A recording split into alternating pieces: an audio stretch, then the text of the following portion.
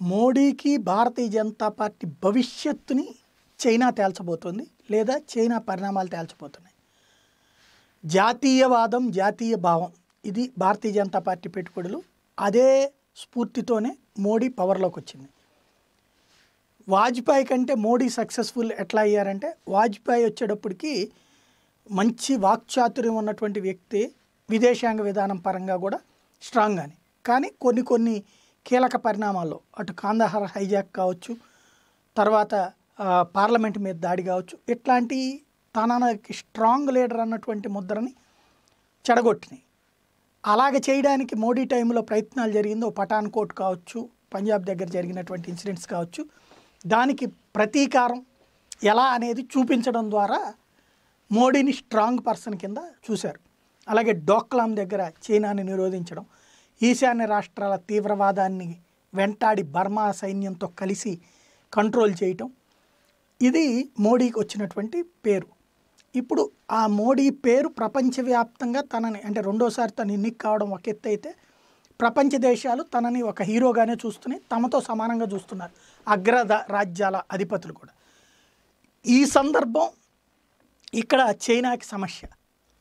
China ఇక్కడ మోడీ ని దెబ్బ కొట్టడం అనేటువంటిది ఒక ప్రయత్నం చేస్తుంది. ఎందుకంటే గతంలో తమ ఇష్టం వచ్చినట్టు నడిచినాయి మన సరిహద్దులు. కాశ్మీర్ ఎప్పుడూ వివాదంగానే ఉండేది.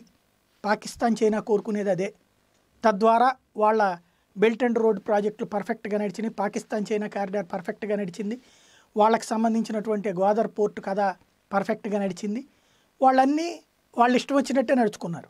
ఇప్పుడు మోడీ ఆ పీఓకేని కాన్సన్ట్రేట్ చేయడానికి సిద్ధపడుతూ ఉండటం. ఎప్పుడైతే ఆర్టికల్ త్రీ సెవెంటీ రివోక్ ద్వారా అసలు విషయం భారతదేశంలో ఉన్న అంతర్గత వాళ్ళ కడుపు మంట కంటే కూడా చైనా పాకిస్తాన్ల కడుపు మంట ఎక్కువ ఉంది. రెండో పక్కన వచ్చేటప్పటికి లేటెస్ట్ పరిణామాల నేపథ్యంలో భారతదేశం వదిలేస్తుందిలే అని గాల్వన్లో ఇలా కానీ పాంగ్వాన్ లేక్ దగ్గర కానీ అనుకుంటే అప్పర్ హ్యాండ్ సాధించాలనుకున్న చోట భారత్ మొండిగా కూర్చున్నది ఇప్పుడు ఎట్టి పరిస్థితులలో నరేంద్ర మోడీ క్రెడెన్షియల్ దెబ్బతీయటం అనేటువంటిది చైనా ఉద్దేశం. దానికి అంతర్గతంగా మన దగ్గర ఉన్నటువంటి విపక్షాలు అటు కాంగ్రెస్ కావచ్చు కమ్యూనిస్టులు కావచ్చు వీళ్ళందరూ కూడా చైనా ధోరణిలోనే ఉన్నారు. ఆ మధ్యన విన్నాం కదా ఒక లడక్ దగ్గర ఉన్నటువంటి ఒక కాంగ్రెస్ నాయకుడు మాట్లాడినటువంటి మాటలు. చైనా మొక్కలు చేసేయాలి పాకిస్తాన్ మొక్కలు చేసేసుకుంటే అప్పుడు ఓ దారికి వస్తుంది పార్టీ భారతీయ జనతా పార్టీ కానీ మోడీ ఇంపాక్ట్ పోవాలి అంటే చైనా గెలవాలని కోరుకుంటున్నటువంటి వాళ్ళు మన దగ్గర ఒక సెక్షన్ ఉంది. అయితే మెజారిటీ ప్రజలు చైనా గెలవాలని కోరుకోరు. ఈ నేపథ్యంలో ఎట్టి పరిస్థితులలో భూభాగాన్ని పా పాంగ్వాన్ లేక్ దగ్గర దాంతో పాటుగా ఏదో ఒక రకంగా అరుణాచల్ ప్రదేశ్లో కొంత భాగాన్ని సిక్కింలో కొంత భాగాన్ని తీసుకోవాలన్నటువంటి ఎత్తుగడ సీరియస్గా చేస్తోంది. అందుకు అనుగుణంగానే సరిహద్దులలో మొహరింపులు కొనసాగిస్తోంది. వెనక్కి వెళ్తోంది. బట్ ఆ వెళ్ళిన ప్రదేశం నుండి తన సైన్యాన్ని ఏం విత్డ్రా చేసుకోవట్లేదు. భారత్ వెనక్కి వెళ్తే మళ్ళీ దూసుకొచ్చేందుకు సిద్ధపడుతోంది.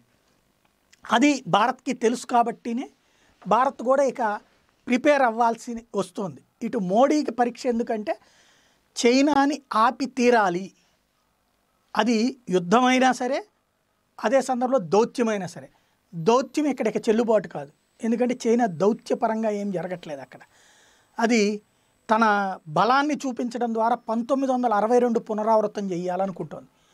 పంతొమ్మిది వందల అరవై రెండు పునరావృతం అంటే ఆనాడు తను బాంబులు వేసేసి సైలెంట్గా వెనక్కి వెళ్ళిపోయామని చెప్పేసి ఆక్సాయ్ చిన్ వరకు అట్టి పెట్టుకుంది అట్లా బాంబులు వేస్తే మెరుపు బాంబులు వేస్తే అటాక్కి ఇటు భారత్ ఇప్పుడు సిద్ధంగా ఉంది. సేమ్ టైం భారత్కి సహకరించడానికి తగినటువంటి విధంగా విదేశాంగ రక్షణ వ్యూహాన్ని మోడీ అల్లిపెట్టారు. అందులో భాగమే అటు అమెరికా దళాలు దక్షిణ చైనా సముద్రంలోకి ఎంటర్ అవ్వడం అండమాన్ దగ్గర కూర్చోవడం అటు పక్కన ఏకంగా అసలు భారత ఇలాంటి క్లిష్ట సమయంలో యుద్ధ నౌకలు వచ్చినాయి అంటేనే సిచ్యుయేషన్ అది. దానికి తోడుగా అటు ఇంగ్లాండ్ది రావడం జపాన్ రావడం ఇవన్నీ కూడా మోడీ అనుసరిస్తున్నటువంటి వ్యూహమే.